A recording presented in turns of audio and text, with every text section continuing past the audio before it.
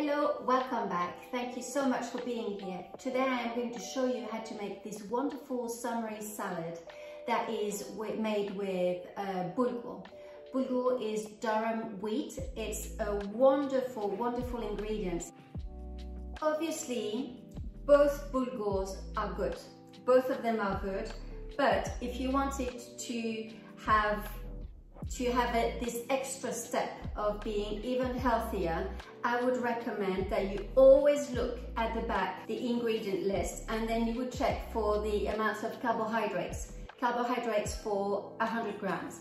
And between this brown one and the yellow one, there is a 20 gram difference. So I would personally, uh, just because I have to calculate the carb content, I would personally prefer using this brown bulgur because I can have more of it for less carbohydrate than the yellow one. But obviously it doesn't uh, really matter, but as just, if you wanted to go the extra step for something healthier and um, really good for your blood glucose, uh, I would recommend the brown durum wheat bulgur. Let's just cook it. Rinse the bulgur. You want to try and get the starch out a little bit. So maybe you rinse it two or three times and then you put it in some boiling water. For me, it cooks a little bit like pasta. So uh, you just have to check and see whether it's ready or not. Once you have done this, you get rid of the water and then you try and fluff it up a little bit and leave it to cool because the salad that you are eating is a cold salad. I am going to show you what I do, what my grandmother used to teach me when we were doing um, cutting parsley in little bits because this recipe calls for parsley. Now, you in this parsley that I bought in the store, you don't want to have the stalks. You want really to get the leaves of the parsley. So I'm keeping all the leaves there and get rid of the stalks. To cut parsley very thinly, basically put your parsley in a glass and then with some scissors you need to cut. That's all. Um, it can seem obvious, but I think it's easier than doing it with a knife because at least you don't have to worry about all the little bits of uh, parsley going everywhere and just trying to keep it in one place. This is inside the, uh, the glass and honestly it's really good. As you can see, they end up being really, really small cuts and this is just really good. I, I must say that I don't know, I can't do that with a knife, so for me this is the best solution. Now that you've done that with the parsley, uh, you do the same with the mint. Uh, although for the mint you don't have to like cut it in such little, um, little, little bits. I am doing, uh, for one part of the parsley, I would put half of the mint. I've got a little bit of tomato, you know, these little ones like this. I try to cut them in six. If you do not have little spring onions like this, because sometimes they can be difficult, well, for me to find, what you could also use is these onions. They are like, like fresh onions, really new onions, and you could use these green parts as well. The closer here, the better, and uh, it would be just the same.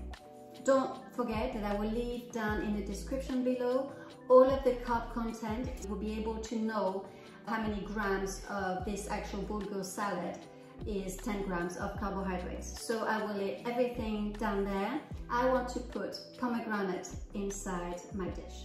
Now you have, what I normally do is I normally buy two or three and then I cut them, get rid of the seeds and put them in the freezer. So I do not have to worry about it. Um, as you know, I like to freeze things. So, but I want to show you today, if you have a fresh pomegranate, how on earth are you going to cut this and get rid of the seeds? So this is actually quite simple, but um, I guess you just have, it's like a, something you have to, to get used to. Now cutting pomegranate is kind of easy, but I think the trick is to make sure that you cut it properly so that you don't have to fiddle with the white bits of the, granite, of the, of the pomegranate and having to try and get rid of the pips and everything. So an easier way, I guess, for me is that you basically have got to make four um, cuts around the top of the uh, pomegranate. Can you see there are two bits and this is the bit you want at the top. You make four cuts and then you can, with by holding the top like a little button, just you pull it up and then you end up with something like this. Now you have to try and see because when there's these white bits here, it kind of separates the compartments of the pomegranate seeds. You want to cut from the top to the bottom uh, with that line in mind here so that it's easier for you to then compartmentalize it. Will open quite easily. All you need to do is get rid of the center bit, like this.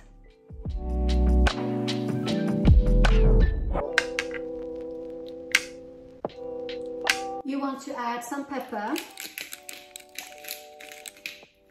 Now you can tell that the salad is quite dry because now we are going to make the sauce. Now that your salad is ready, all you need to do is add the lovely sauce. This sauce is made with orange juice, mustard, salt and vinegar and oil.